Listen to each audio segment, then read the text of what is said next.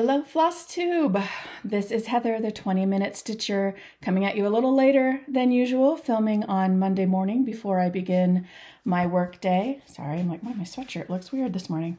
Um, oh, goodness. Today is Monday, March 13th, 2023. First, a big shout out to my friend Brijin. Happy birthday, Brijin. She is uh, 25 today, the Museum Stitcher.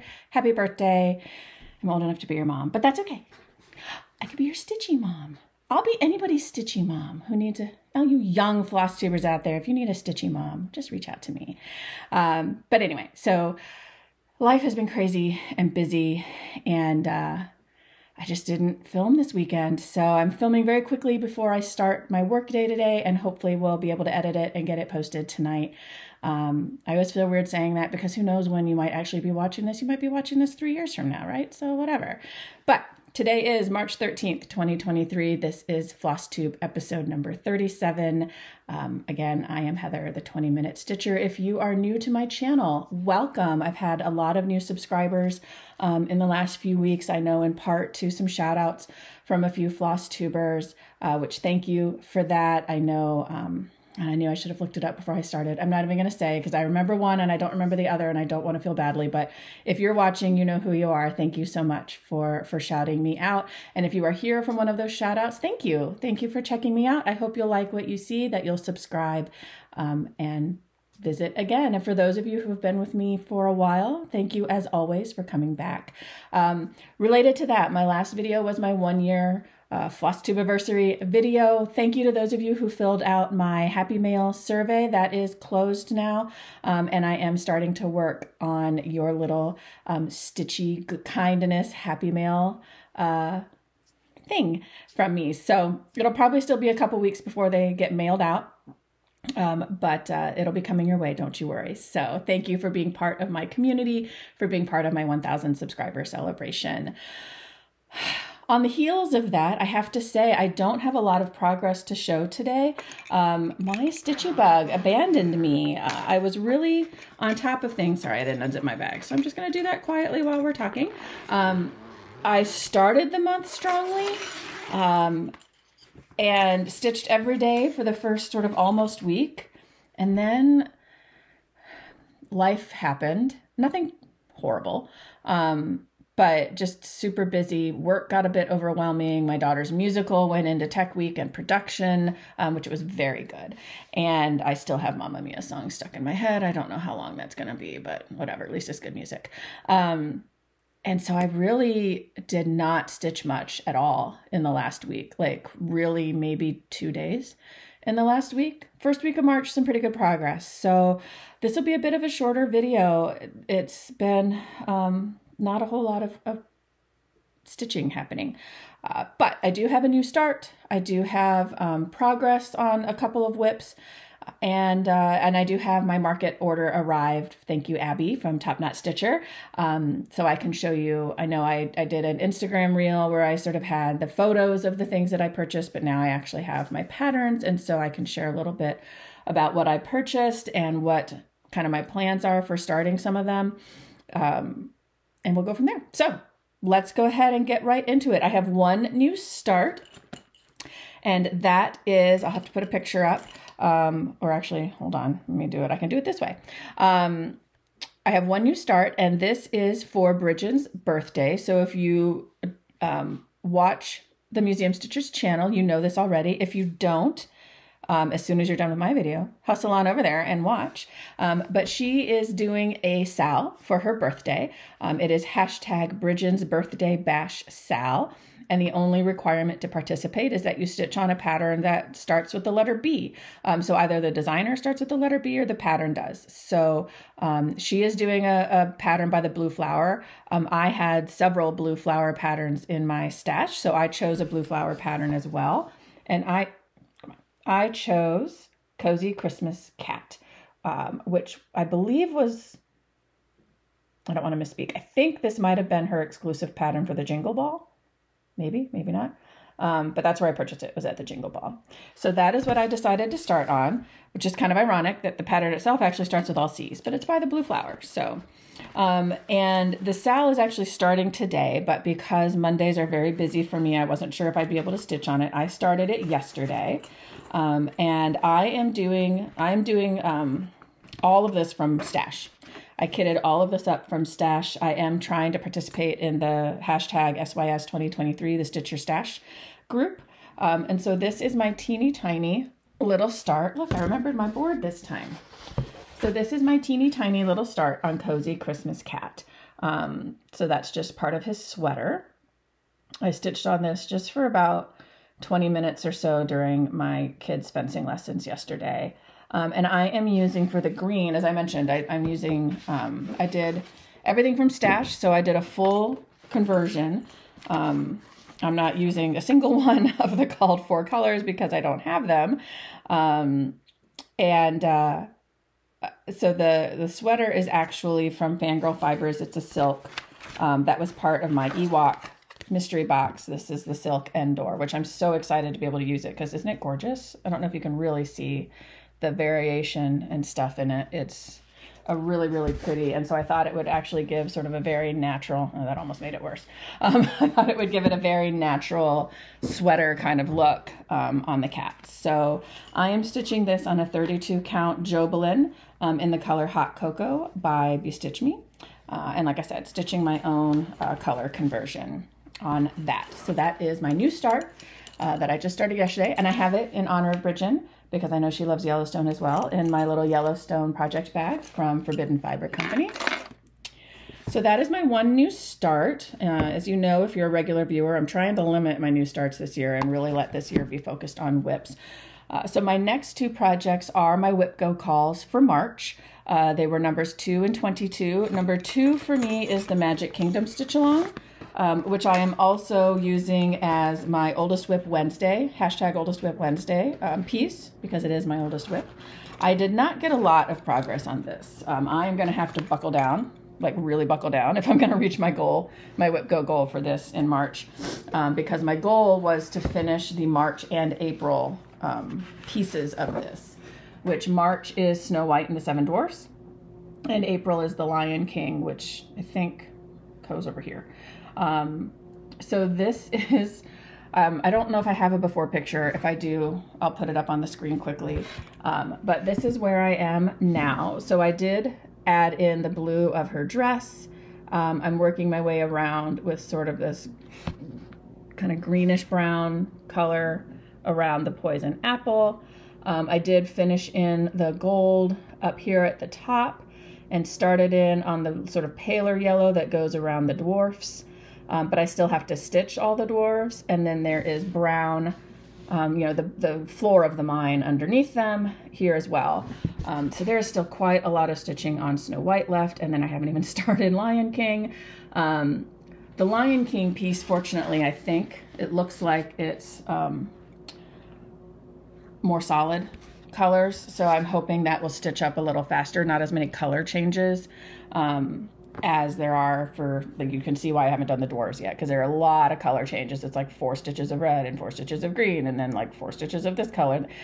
And some of the colors repeat, which is one of the reasons why I'm trying to get the light yellow in first because then I can just run the thread um, behind until I get to where it's used again. But, um, but yeah, so that is my Magic Kingdom stitch along. Um, my stitchy bug needs to find its way home um, or I'm going to be stressing trying to reach my WIP Go goal on this one and it's not going back in bed. It's not, see, nothing's cooperating, behaving with me today. Um, and then my last WIP, again, I told you not much stitching this these last two weeks. Um, my last WIP is my number 22 call for WIP Go, and that is, it is, Hope Angel. Ah, come on, light, stop it. There we go. Um, that is Hope Angel. And I have to tell you, I'm sure this has happened to all of us, right? Like you buy a pattern and you don't notice something in it um, until you start stitching it, and they're like, wait, I didn't know that was in there. Y'all, don't laugh at me. I don't know, because now I do see it in the photo of the pattern. Um, but the word survivor is in her dress here, which I hand to God, never saw ever. And when I every time I picked out this pattern was like, do I want to start stitching this? Blah blah blah. Never ever noticed that that word was in there until I started stitching it. I just thought it was like just different different colors, right? It was just like a shadow or something. And then I started stitching it and I'm like, wait, this is spelling the word survivor. I promise I'm an intelligent person. Um, but anyways, so my WIP go goal on this one is um, seven days. I have stitched five days so far because I really started the month on this one. Um, and so this is my, it's gonna, I've had it, hold on, let me do this. Because I've had it curled up with my little magic clip here. And, um, ooh, is this one even gonna be big enough to, okay, there we go. Keep it from curling up on itself. Um, and so this is where I am at. So before I really only had sort of this part of the skirt outlined and then this white in here that I haven't touched since then. So in the five of my seven days of stitching that I have spent on this so far in March, I have done everything else. So I stitched out the word survivor. Um, I am almost filled in this part of her skirt. Um, and then I started outlining. So this dark gray outlines the whole angel. Um, and now I'm working on the tan. This is DMC 422. Um, and this is sort of the like patterning, the filigree is kind of what I think of it. That's in her wings and in her skirt uh, down here as well. Um, so I'm going to be focusing on the tan next because I actually, ironically, didn't have 422 in my DMC stash, so I had to borrow it from my mom, um, and she took it out of a, a, one of her kitted projects. So I want to finish it on this pattern as quickly as I can so I can get it back to her for whatever she's working on. But um, but yeah, so good progress on this one. I'm happy. This is just being stitched on an 18 count Aida that I had in my stash, which is another reason why it's stitching pretty quickly. Um, right, we all know that Aida stitching often goes um, a lot faster for whatever reason um, than uh, than linen or, or even weave stitching. So that is Hope Angel, and I'm stitching this with all the called for DMC um, on, as I said, just an 18 count sort of rose pink Aida that I had in my stash. And that is all the stitching I've done in the last two weeks. Um, so not not a lot of projects, but some good progress on the Hope Angel at least, and a little bit of progress on my Magic Kingdom. Um, so I have two more days on Hope Angel, and that goal is achieved. And then I will be eating, sleeping, and breathing Magic Kingdom until that goal is met. Um, and then I will be um, working on Hive Rules, which I have neglected and really, really have to get going for Brandy at Bestitch Me. And then um, perhaps also, I don't want to fall. I'm also stitching the British Isles Adventure Stitch Along, which I haven't even, I didn't finish January. Um, or excuse me, I didn't finish the, the February they come out the 26th or 27th of each month. So like the first piece came out in January, but really it's like the February stitching, right? So I haven't finished the February piece. I haven't even started the March. Like I don't want to fall far, far behind on that, but I got to get with it. Hopefully my stitchy bug comes back with a vengeance. Um, all right, so acquisitions. Uh, just a couple of, well, more than a couple of things, but a couple of groups of things. So I did get my Bestitch Me fabric of the month, which um, is I have to re- message Brandy again because I, I, meant to. I thought that I messaged her to switch to the neutrals club, but I got the color pattern, which I'm okay with because it's beautiful. Um, this is called sorbet, and I get the now I get the 32 count Jobelan. Um, but I think I might. I have so much 32 count in my stash. Um, I think I might switch again. I just switched to the Jobelan um, from the Lugana just to sort of change up the types of even weave I have um, or the, the types of fabric I have, but um, I might want to switch up the count too. So I might move to a 36 or maybe even a 40. Um, but this is color sorbet. I'm trying to make sure the color is picking up nicely, but it's, it kind of looks like a peach sorbet. So that is my fabric of the month from Bestitch Me. All right, market acquisitions. Um, so this is repeat for those of you who follow me on Instagram um, in terms of the patterns, but I did also get, because how stinking cute are they, and hopefully it will pick up um, on the video. Let me get my bo backing board again. Um, I did also get these scissors, which are not market. Oh no, that shows up just fine. I mean, come on. look at those little squirrels. They're so cute. And Abby includes little like point protectors that I got a little peace sign point protector. But come on, how cute are those little squirrels? Love it. Can't wait to use these. Love them, love them. Okay, so uh, fast forward if you want, if you've already watched my my uh, Instagram reel and don't care what I got from Market, but I'll just go through these really quickly. I think what I'm most excited about from my Market purchases is um,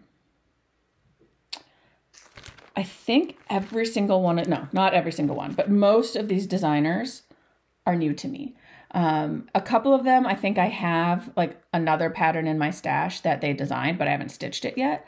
Um, so I'm like really excited that I have new designers um, to stitch. So uh, first one is Needle Bling Designs, which this is one I do have one of their um, X Stitch the Rainbow, the Autumn Garden palette um, patterns. I do have her pattern from that in my stash, but haven't stitched it yet.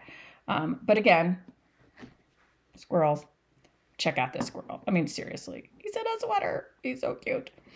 So Gather Up Your Blessings by Needle Bling Designs is one of the patterns that I purchased.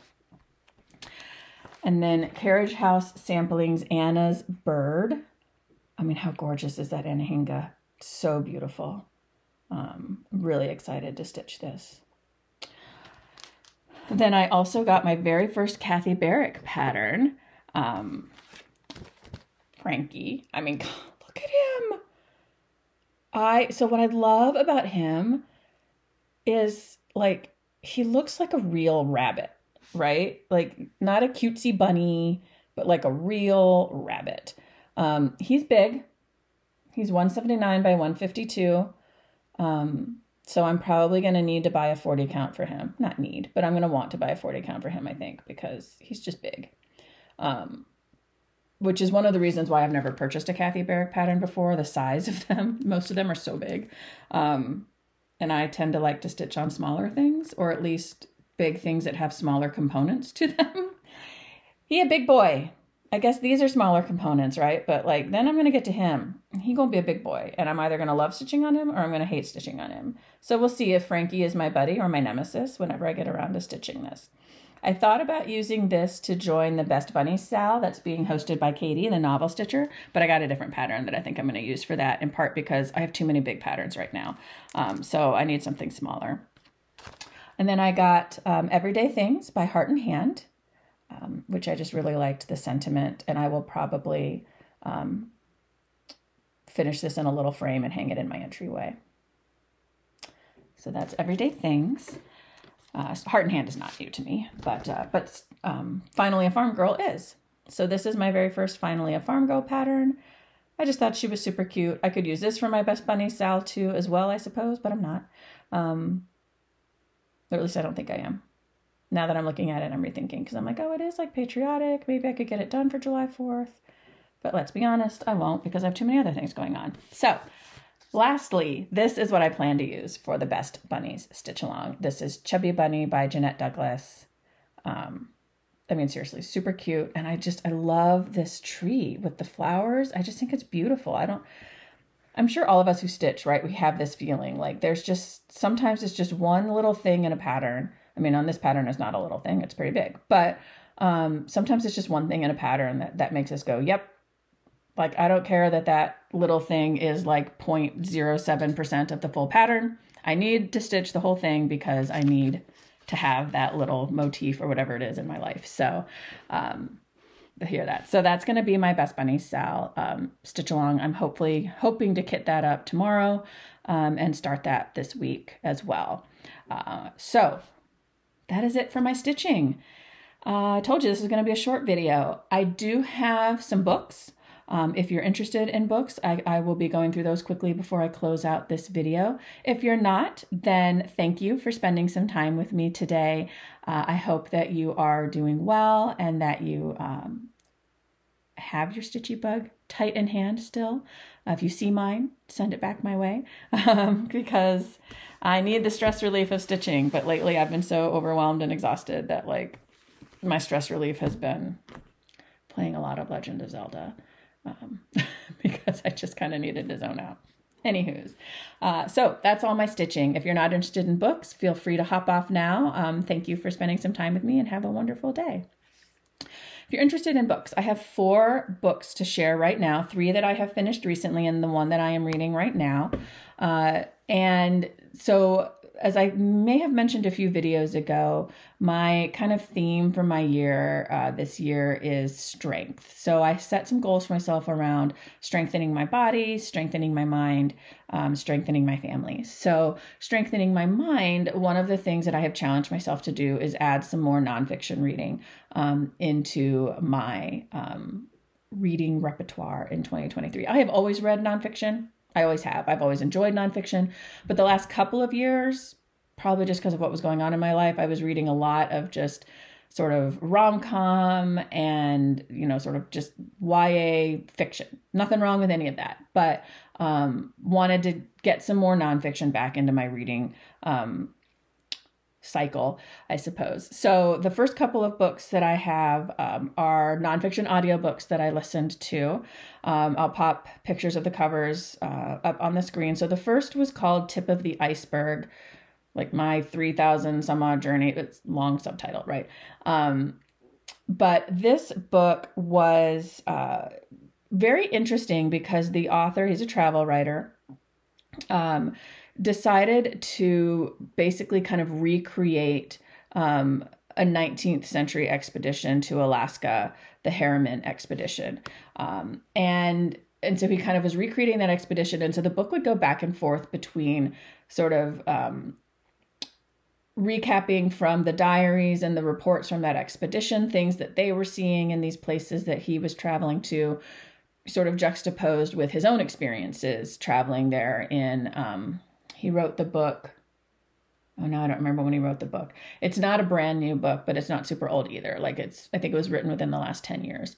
Um, sort of you know, so so juxtaposed against what's happening in that area of Alaska in the essentially modern world, right? Um, it had some very funny bits, um, especially involving bears, um, but uh, and some very poignant um, and spoken bits. Um, things, learned new things, which was part of the point of reading the nonfiction. Um, how actually many of the Native Alaskans during World War II um, were also relocated, is what it was called, but it was essentially internment as well. Um, not for the same reason that Japanese Americans were interred, but um, mostly because the military wanted their lands for strategic defense. And so basically, kind of forced them out, which was not anything I'd ever learned before or learned um, or knew. So that was something new that I learned in listening to this audiobook. If you enjoy nonfiction, if you enjoy sort of travel writing slash history, it was actually very, very enjoyable. It was read by the author, um, and he did a pretty good job. So uh, I liked that book. I gave it four stars on Goodreads, um, primarily because I laughed. I thought, right? It made me think. Um, and it was enjoyable. So that was Tip of the Iceberg. The second nonfiction book I listened to was called Strays. And again, long subtitle A homeless man, a lost cat, and like their journey across America. Um, I think was close enough to what the subtitle was. Again, I'll put the cover up on the screen. I enjoyed this book. I wanted to like it more. Um, first off, the nitpicky part of me was like they did not journey across America. Like that cover is a little misleading. They journeyed across Western America. They went to Oregon, California, Idaho, and Montana, which are all very large states. and so it was lots and lots of traveling. But when I kind of picked it up, I was like, oh, wow, across America. That's amazing. Still pretty amazing, right? But nitpicky me was like, no, that's not across America. Um, I know. Y'all can boo me in the comments. Like, really, Heather, get over yourself. Um, it was interesting it was entertaining to listen to. The narrator was good. I think what I struggled with on this one was I wanted to like it more, um, but the cat's actual owner, like the way it was written, it just he just kind of kept annoying me. Um, and maybe I'm a judgmental cat owner, but I was like, this cat got away from you once and was gone for six months and like you had a neighbor across the street who you know hated your cats and let yet you still let them roam outside and you like no wonder your cat went missing again. Like, I don't understand. Like, yes, it's horrible and tragic, and I shouldn't be judgy, but at the same time, it was like, dude, like, the cat was microchipped. I mean, that's how they ended up finding the owner in the first place. But um, I don't know. I couldn't get over a lot of that. Um, and just some of the, I don't know. I, I felt bad about myself after reading this book. So I'm like, oh my gosh, Heather, you're being so judgy. But um, I struggled with that. That said, um, I really, really appreciated how the homeless man, Michael, who found the cat, um, who he named Tabor, um, how the author did such a good job of demonstrating how they're just like any other human being, right? They just don't have a stable home. Um, he and his friends, I mean, they were just, it really humanized the the homeless population. The story of how he became homeless, oh my gosh, quite frankly, sounds like something that could happen to any of us, right? Which um, I think there's such a stigma around homelessness in this country and such an assumption that everyone who's homeless is mentally ill, which Michael does suffer from depression, but not he's not dangerously ill, right? And I think there's a stigma in this country that like homeless people are dangerous by default. Um, so I did really value and appreciate um, the humanization of the homeless population in this book. Um, so I gave it three stars. It was enjoyable. Will I read it again or listen to it again? No, but um, it was it was it was good enough to finish. Let me put it that way. I'm not a person who is afraid to put a book down if I'm really not liking it.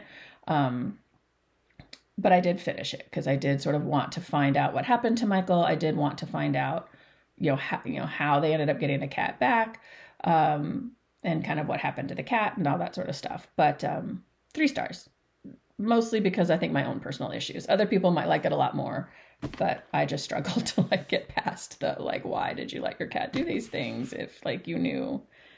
Anyway, so that was Strays. So those are the two nonfiction books that I've read. And then I finished one fiction book, which I know I've shared before, and that was The Midnight Library by Matt Haig. And I know I'm like three years behind on this book. Um, and so I won't spend a lot of time on it. Speaking of cats, yeah. I took the jacket off of this book because for when I was traveling, just so ironically, so it wouldn't get damaged. And um, I left it sitting on my dresser, and one of my cats decided that it looked tasty. Or apparently not tasty enough because they didn't totally destroy it, but yes, it now has teeth marks in the spine. Anyway, so I won't spend a lot of time on this because I'm sure a lot of you have probably already read it. Um, interesting premise um, about sort of getting this opportunity to um, examine the regrets of your life, big and small, and try out um, different lives if you had made a different decision at some point in your past um, and getting to try out different lives and seeing if there is something else you would rather live. And it was um, it was an interesting premise and an enjoyable book. I liked it. And then the book that i am currently reading uh, is a newer release called ms. Demeanor by elinor lip elinor lipman. Um, there we go. Uh, so this is from my library and so this is in a nutshell. The main character is an attorney in New York City who um, gets a little freaky with a coworker um, on the roof of her building and is spotted by a person across the street who calls the police. Long story short, she ends up um, getting fired from her job, getting um, sentenced to 18 months of house arrest um, or home confinement uh, for her uh, lewd and indecent behavior. Um, and uh, and so this is this is sort of the story of what is happening to her during that home confinement. She ends up learning that there is another person in her building who also is on home confinement for another kind of white collar crime, um, and uh, and sort of I'm I'm kind of learning how those two are getting intertwined. I'm sure they will end up romantically involved in some way because I'm pretty sure this is a rom com. But um, I'm about a third of the way through right now, uh, and I won't say too much more because I don't want to spoil anything. Um, and obviously, I'm only a third of the way through, so a lot of the plot has yet to develop. But uh, it's been enjoyable so far. It's a quick, easy read. The chapters are short, um, so this is mostly my like before I go to sleep reading um, because I can easily get a couple chapters in before I go to bed. Uh, so so far enjoying. We'll share updates as I as I go. I think that is finally everything I have. Thank you so much again for spending some time with me. Uh, if you are reading something right now that you would like to recommend, feel free to drop that in the comments. And um, I meant to come up with like a question to ask today, but I forgot to. So that's what happens when I get off schedule and I'm trying to cram this in, squeeze in this filming before I start my work day for the for the day. So um, thank you so much for spending time with you. If you have made it all the way to the end of this video, why don't you drop a, a book emoji uh, in the comments? And um, as I always close my videos, um, hug your loved ones, take care of yourselves, and uh, happy stitching. Have a great day. Bye, everyone.